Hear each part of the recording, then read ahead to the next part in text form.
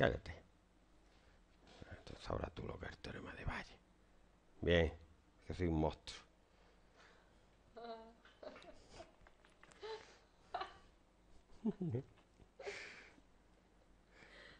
Bueno, vamos a hacer el teorema de Valle, ¿vale? Un problemita fácil. En una estantería hay 60 novelas. Novelas. Esos que hay bombillas, novelas. Y 20 de poesía.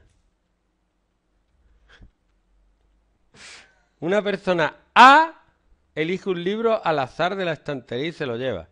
A continuación, otra persona B elige otro libro al azar. ¿Cuál es la probabilidad de que el libro seleccionado por B sea una novela? Pero con reposición. Sin reposición. Entonces, sería la probabilidad de que B se lleve una novela sabiendo que A Eh, No, porque A se ha llevado otro libro. Sabiendo nada. A ver, se ha llevado un libro. Pues, pero la ley de la probabilidad total dice que esto es la probabilidad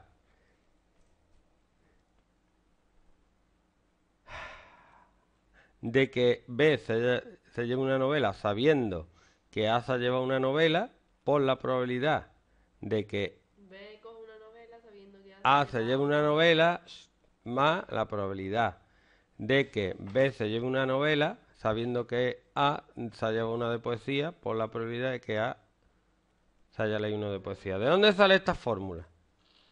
Esta fórmula sale del teorema de la probabilidad total que dice que, voy a ver si está bien, la probabilidad de B de que B se lleve una novela es la probabilidad de que B se lleve una novela y A se lleve una novela más la probabilidad de que B se lleve una novela y A se lleve uno de poesía.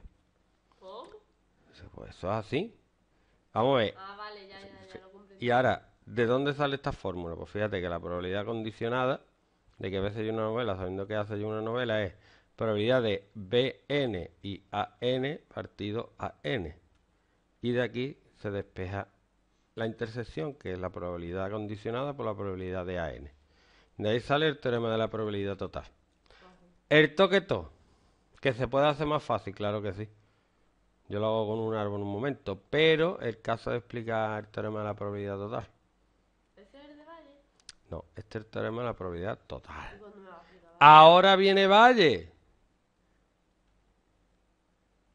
Venga, probabilidad de BN condicionado a AN. Vamos a ver. ¿Qué has hecho?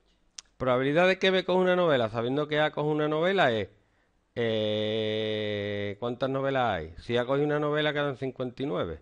59. De 79, por la probabilidad de que. 29, ¿por qué? Claro, porque ya A cogió una novela. Entonces será 59, no 79, 79. No, no, ver, ¿cuántos libros quedan? Había 80 libros, A se lleva uno, quedan 79. ¿Cuántas novelas quedan? Como A coge una novela, y la probabilidad de que A coja una novela es, de 80 libros que hay, 60 son novelas. Más la probabilidad de que B coja una novela sabiendo que A coge uno de poesía, quedarían 79 libros y 60 novelas, porque A coge uno de poesía, por la probabilidad de que A coja uno de poesía, de 80 libros, 20. ¿Vale? Hasta aquí, tranquilo, parado. Mm, calculadora. Entonces eso se llama, ah, mira, teorema de la probabilidad total, ¿vale? Han simplificado esto, muy bien. A ver, y ahora me preguntan lo típico para hacer valles, que es, Si se sabe que ve. si B cogió una novela, o sea, sabiendo que B cogió una novela, calcula la probabilidad de que el libro seleccionado por A sea de poesía. Bueno, pues esto, por la definición de probabilidad condicionada, es la intersección de A. Perdón. Que A coge una de poesía y B coge una de novela por la probabilidad de que B coja una de novela. Perdón.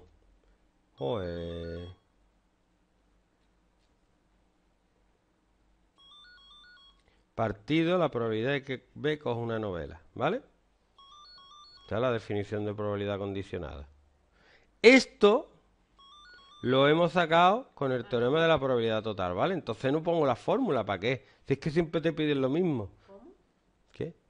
Que no pongo la fórmula, esta, ¿para qué la voy a poner otra vez? Porque abajo tendré que poner, la tengo que poner, porque tú me lo estás diciendo. El teorema de la el teorema de Valle Ah, dice que ponga esto así.